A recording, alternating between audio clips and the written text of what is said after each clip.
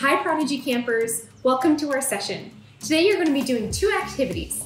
The first one is talking about volume with me, and then we're going to go over to my friend Jen where you can talk about composting, recycling, and garbage. So let's talk about a few things that you'll need for this session today. For the part with me, you will need three containers. They can be anything you have at home that your family says you can use, maybe a vase, a bowl. I'm using three different containers from my kitchen. You want them to be different sizes if possible.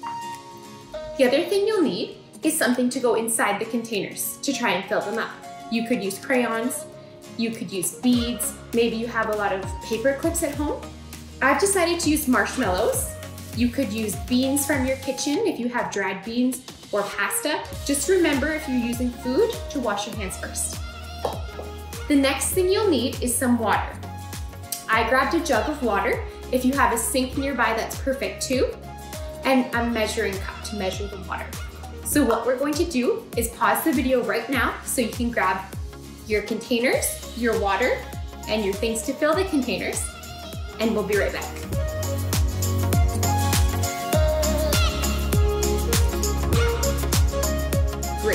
So now that you're done collecting your materials, we're going to estimate. And remember that estimate means guessing. So just, we're going to guess. Which container of yours do you think can hold the most amount of stuff? If you've chosen containers that are really different in size, one's really big, one's really small, and one's in between, it might be easy. But if you've chosen three that are very similar in size, it might be a bit harder. For example, with my containers, this one to me, this little square one looks the smallest. But these two look very similar. I'm not really sure which one will hold more, but I'm going to guess the round one.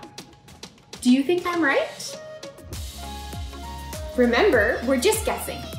So at this point, we're just making our best prediction we can, and then at the end, we'll see if we were correct or not. So the first thing that we're going to do is talk about volume. Volume is the amount of space that something takes up, or how much liquid something can hold. So let's see how much water fits inside of each of our containers. So why don't you arrange your containers from what you think is the smallest amount of water, and then the middle amount, and then the largest amount. And what we're going to do is measure. So take your measuring cup. If you just have a regular cup, that's okay to use too from your kitchen. And we're going to fill it with water. So here's one cup. I'll start with my smallest container can hold one cup of water and my container is almost full already. So let's see.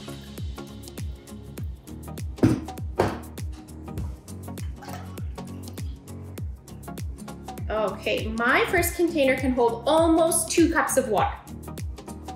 So I'll remember that number. If you'd like to, you can write it down so that you have, so it's easier to remember. So just about two cups of water for my first one. Now make a guess. Based on that first one, how much water do you think your second one can hold? My second container looks maybe double the size of my first one, so I'm thinking maybe four cups. But again, it's just a guess. So let's count together. Might also be a good idea to have a towel nearby just in case some water spills.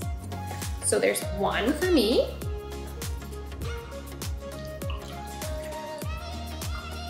Two.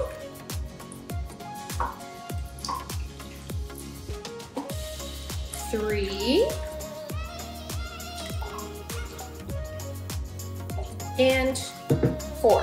There's still room in my container, so my prediction was not quite enough. Let's see if five cups of water fit in this container. That's right, five cups fit in this container. So right now I have two cups, then five cups, and then how much do you think can fit in this one if five fit in this one? My guess would be six cups of water. Let's see. Another strategy you could use is very carefully, you could take your five cups of water, whatever fits in your second one, and pour it into your third one to see if it holds more or less. Oh, my third container is full already. And I still have some left in my second container.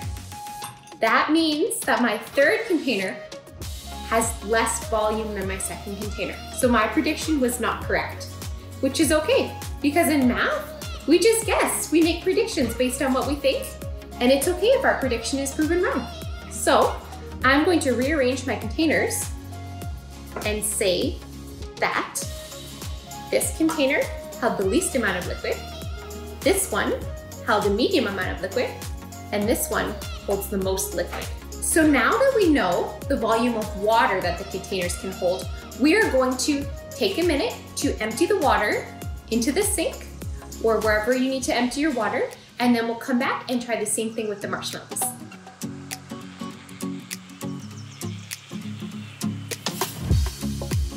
Okay, so now I have emptied the water from my containers and I've also dried them a little bit with a towel so that my food doesn't get wet when I put it in. The next thing we're going to do is use the containers to measure something else, something solid instead of liquid.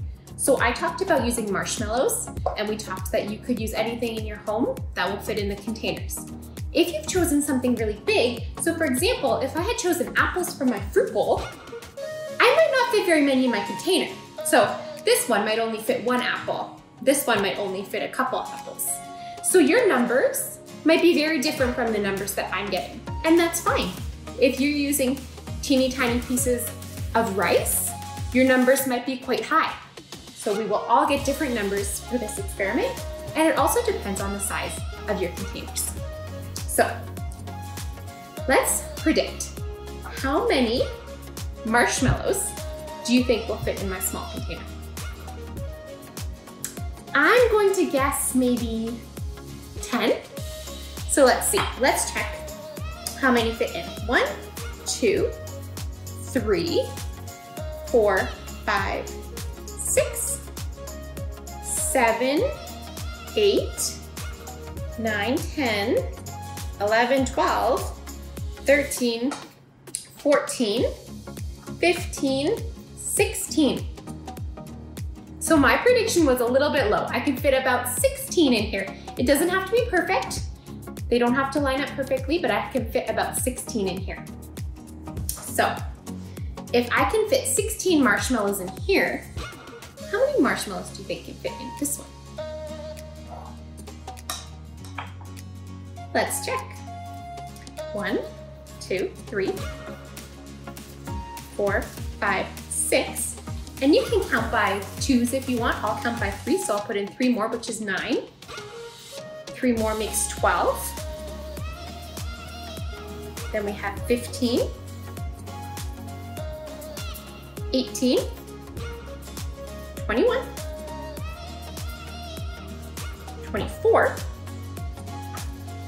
and 27. I think I can squish them all in. So this one fit. 27 marshmallows. Remember, if you need to, you can write down these numbers so that you remember. So, if this container fit more water than this one, do you think it will fit more marshmallows? Let's see how many marshmallows can fit in this container. This time, maybe I'll come by fives. So there's five, 10,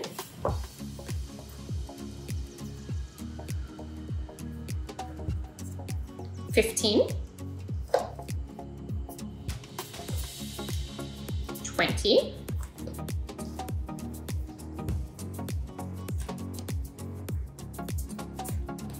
25,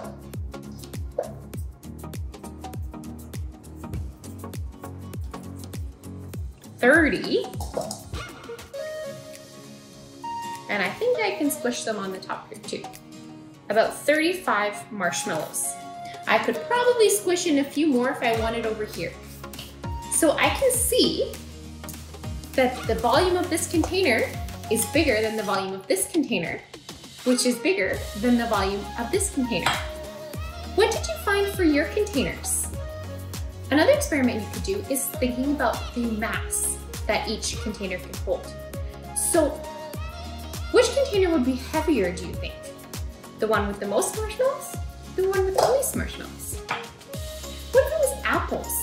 Although this container holds 27 marshmallows and can only hold two or three apples, do you think it would be heavier or lighter with the apples in it? What about water? If you have a kitchen scale or a weighing scale, you could weigh them. If not, you can hold them in your hands with the different materials inside to see which one is the heaviest and which one might be the lightest and how different materials have different mass. Thank you so much for doing these kitchen activities with me. I am so excited to hear if anybody tries this at home with their own materials and how many items can fit in each of your containers. Now we're going to go over to Jen. Jen has a really fun activity with sorting compost, garbage, and recycling, and I can't wait to see what happens over there. Thank you so much, Erin. That was super fun. I hope you had a great time with Erin. Now, I'm gonna take you over and we're gonna go on a little adventure in my kitchen. Welcome to my kitchen. Um, we'll be talking a little bit about recycling and composting. You can follow along with me as we learn more about recycling compost with your own bins. So maybe at home you already have your own recycling bin, your trash can, and um, a little bin for compost. If you don't have bins, it's never too late to make your own. So grab some markers, pieces of paper, and you can write recycling, trash, compost. And if you can find three containers, sort of largish containers, we can make our own bins for this activity.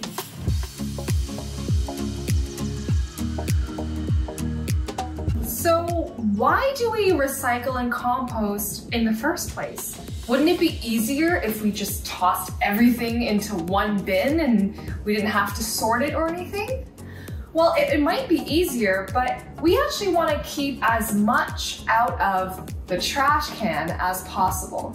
That's because everything that goes into the trash can ends up in landfills. And the stuff that ends up in landfills, well, they never decompose and they just kind of sit there forever and ever. So we'll end up with just giant mountains of garbage, essentially, um, that just sit there. With recycling and compost, recycling, recycling materials allows us to give these materials a new life. So if we're throwing, you know, an old plastic bottle in here, that plastic can be melted down and created uh, and, and made into another bottle maybe, or the plastic can be used for something else. With compost, you definitely don't want compost um, materials to end up in landfill because these materials do break down, but they release a sort of greenhouse gas um, that sort of that contributes to global warming, and we don't want that either. So our goal is to keep as much out of the trash as possible and as much into the recycling and compost bin. So how do we know what goes in which bin? We'll go through them one by one.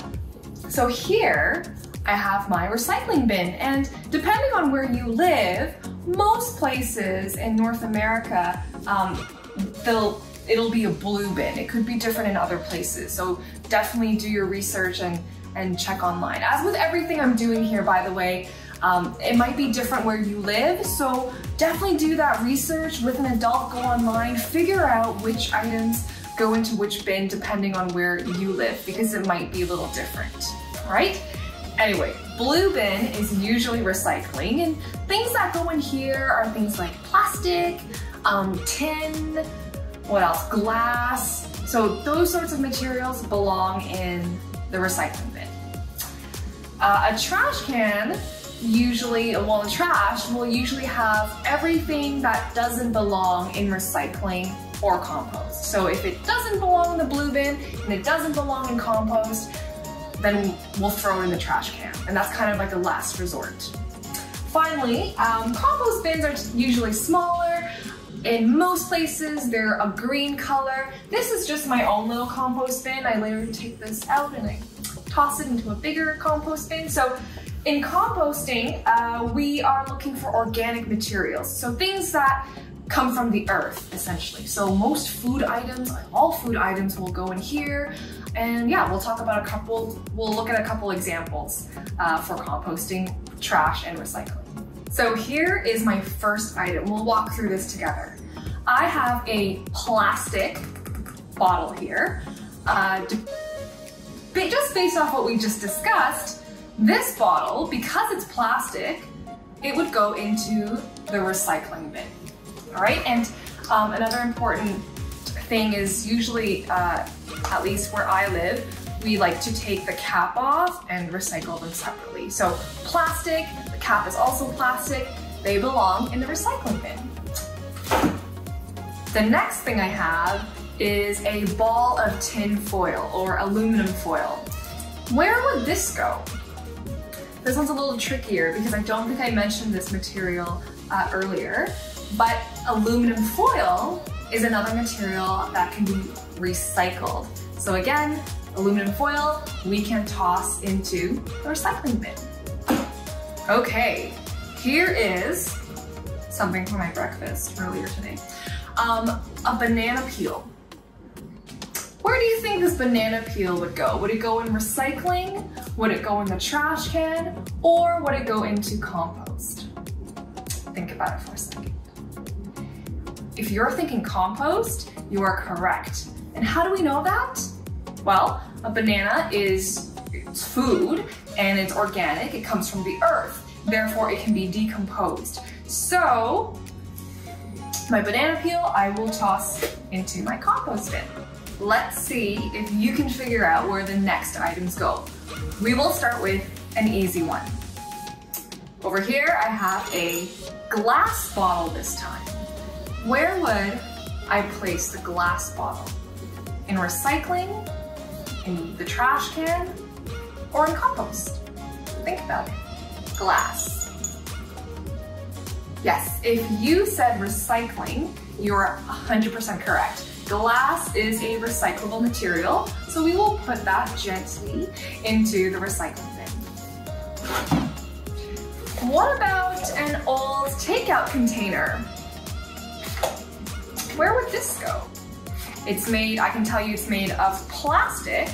And sometimes if you look at containers, they will have a uh, indicator at the bottom telling you whether it's recyclable or not. So that's really helpful. So in this case, uh, we have a little bit of a giveaway here. There is that recycling symbol, which tells us that this is recyclable.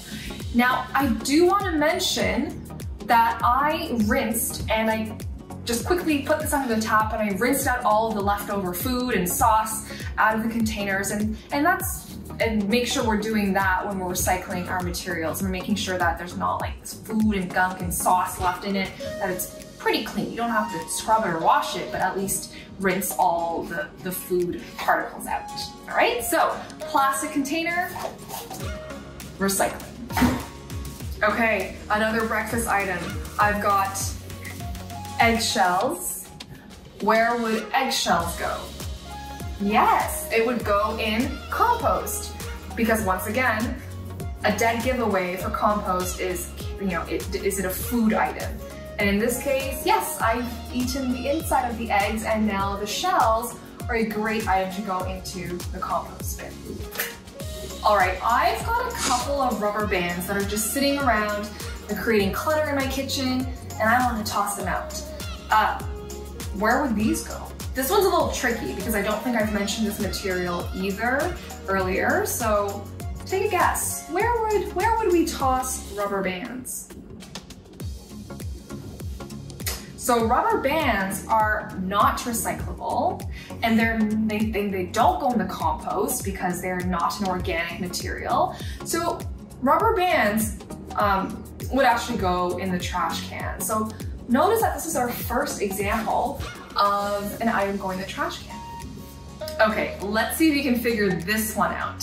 So here I have a, a used napkin from dinner and it's got a little bit of like sauce on it and where would this, where would I toss this? So once again, make sure you double check where you live, uh, what the requirements are for each of these bins. But where I live, um, paper products such as napkins, tissues, if they have been soiled with food, so they have sauce on it or other food particles, um, they can actually go into the, the compost bin because they're made out of paper, which is also an organic material. Um, I believe if it's clean paper, it can go in the recycling. But if there's food on it already, it belongs in the compost bin. What about this here? This might be really familiar, familiar to you. Maybe you take Ziploc bags to school and you have snacks in them. So in the case of these little plastic bags, where do you think these would go? And you might have heard the keyword plastic. So yes, even though this is not a bottle or a container, um, and it's a bag, because it's made out of plastic, remember we can reuse the plastic and make new materials with it. Uh, the plastic bag would go into recycling as well. Here's another one that we sort of talked about, but not really. So cardboard. Where would cardboard go? Recycling, trash, compost? Yes, I, cardboard is one of the more commonly seen items in the recycling bin. You might see it at school as well. So yes, cardboard would fall under recycling. Now, your recycling bin might be larger than mine, but mine is cool. What about leaves? My puppy actually brought these leaves in from outside when he went out to potty. So I don't want these lying around the house. So where would leaves belong? So think about where leaves come from. They come from the earth and they are organic materials. And although we may not eat leaves, I know I mentioned food items earlier, um, but they do come from trees. So leaves would go into the compost bin. Okay, one last one. It's a little trickier. Here, I have leftover salsa from my dinner. So you can see I've got a green one and a red one. What would I do with these? And I want you to think about it because there, there is still food, there's still salsa inside the containers. So based off of what we've talked about prior to this, what do you think I should do with these containers? Well, you might be thinking it might need to go in two different places because I've got food inside of it, but the outside is made out of plastic.